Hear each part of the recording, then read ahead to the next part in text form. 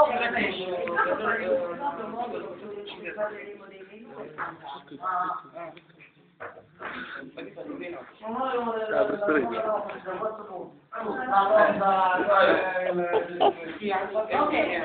Allora, se per cortesia vi concentrate un poco, eh, andremo a fare l'argomento.